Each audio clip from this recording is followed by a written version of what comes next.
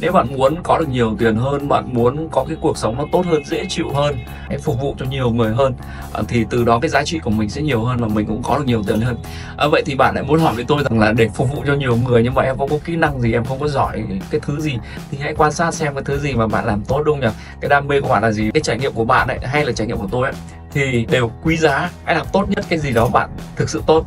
À, và sau đó sẽ giúp cho mọi người bằng cách là giúp cho họ à, rút ngắn được thời gian để họ có thể làm được như bạn giúp cho họ giải quyết được vấn đề của họ và sau đó đóng gói lại để phục vụ cho nhiều người hơn. À, học marketing học cách để truyền tải thông điệp học cách để làm mạng xã hội học cách để lan tỏa cái giá trị các cái à, các cái thông điệp của bạn các cái giá trị của bạn ra được nhiều người hơn nữa ở ngoài kia. Thì cái công sức đó là cũng là một cái công làm việc đó nhưng nó giá trị hơn vì nó phục vụ được nhiều người hơn. Nó giúp ích cho nhiều người hơn thì tự dưng cuộc sống của bạn à, nó giá trị mà cũng từ đó tiền bạc cũng sẽ có nhiều hơn. Đúng không nào? Cho nên là cái trải nghiệm của bạn nó là vô giá. Đừng lo lắng rằng là mình không giỏi cái này giỏi cái kia. Hãy quan sát và bạn sẽ thấy là có những thứ bạn làm giỏi hơn người khác ngắn hơn người khác. Thì đó là cái giá trị đặc biệt của bạn. Ấy lắng nghe cái con người của mình và phát hiện ra đâu là cái sở trường của mình đâu là cái thứ mình làm tốt nhất.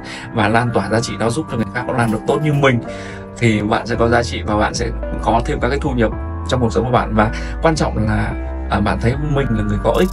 À, khi mình thấy mình tiến bộ mình là người có ích thì cuộc sống của mình thực sự là hạnh phúc đúng không nhỉ? Cảm ơn bạn nhé. Đã xem cái video của tôi.